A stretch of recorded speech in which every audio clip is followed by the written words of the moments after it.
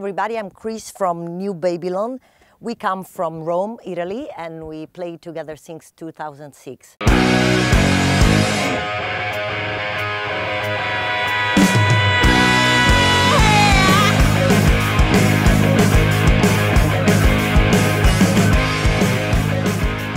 We are a hard rock band. Mm, Basically, we are a sleazy, a sleazy rock band, which is something in between uh, American uh, and Scandinavian rock.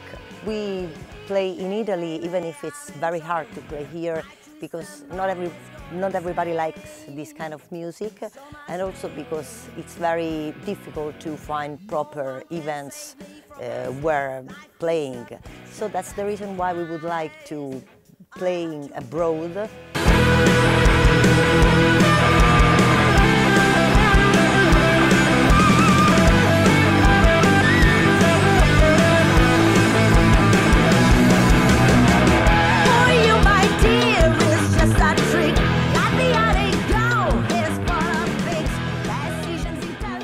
Our text talks about everything. I mean, common day, common life, uh, uh, what we like, what we do, uh, craziness, uh, uh, thoughts, uh, and talking about different things without doing nothing, really building something important.